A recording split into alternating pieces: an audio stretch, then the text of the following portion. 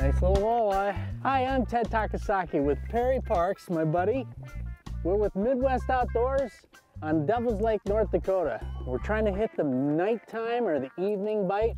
We just got set up. Let's see how we do today. Here, I'll help you out here. Oh, oh, oh, there he is. Oh, all right. Thanks, Ted. You betcha. I tell you what, you know, it might be a small fish, but there's a lot of people that would love to have a fish like that. We're hitting that magical hour of dusk, and these walleyes are gonna start turning on. I mean, this is a great sign. We're getting the small fish. Let's hope the big ones come start piling in here and see if we can get them. Oh, man, he thumped it there. I don't know. That little guy.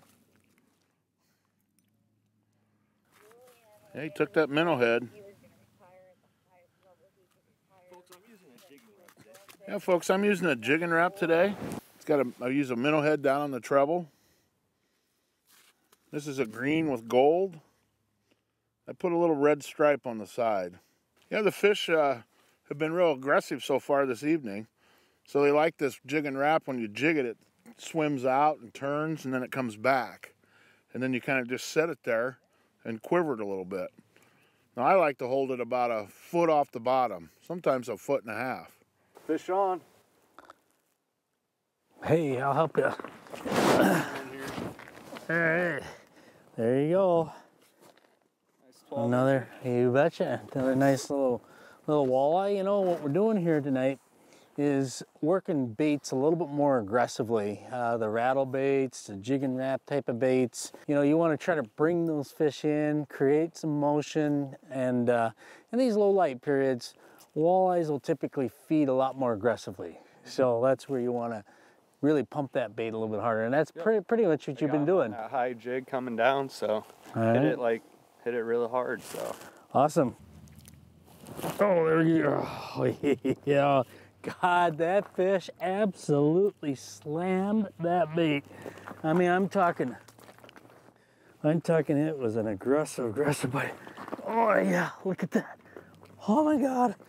Nicest fish of the night. You know, I mean, that's the whole thing. You know, during that night bite, you know, we were looking around trying to find these smaller fish. I just knew one of them bigger fish were gonna hit sometime this evening. That is one beauty of a fish. I tell you what, out here on Devil's Lake, it's a small window of opportunity. It's early in the morning, late in the evening, but this is definitely something that you have to do and stay on the water early and late. Man, that one smoked it, Ted. Oh, hey, let me help you, Perry. Thanks, Get Teddy. this transducer out of the way. They always seem, oh, there you go. Another nice one. Oh, yeah. Oh, They're moving baby. They're you betcha. It's that, it's that short little window in the evening that makes all the difference in the world. I mean, we were scratching our heads for a little bit, and that's two real quick fish. No, All they're right. definitely coming, Teddy. They're Well, I moving tell you in. what, you had them hooked really good there, Perry. What a beauty. Unbelievable. I tell you what, Perry, let's try catching a couple more. Let's go clean them. Oh, there he is. Hey, you need some help? God, all I'm doing is helping you, man. I'm glad you're Perry, here, buddy. Perry is hot tonight. I haven't done all that. Oh, nice, Oh, yeah. nice fish. Good job, Another Ted. beauty. Yeah. Oh yeah.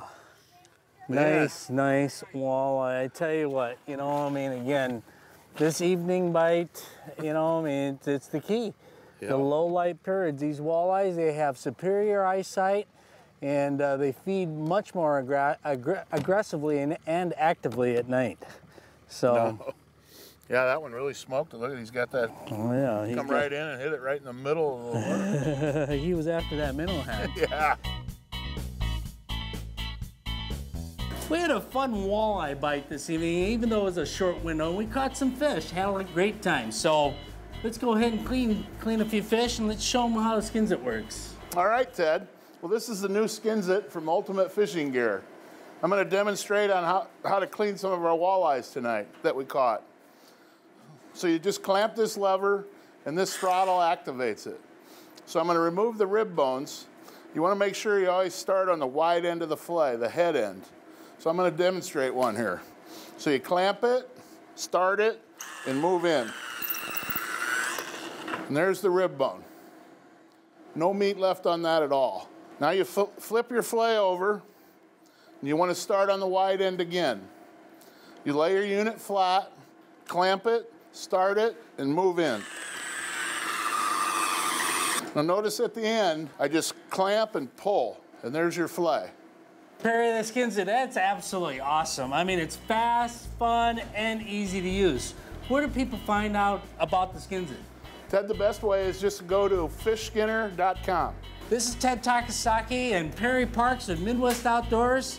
We'll be right back.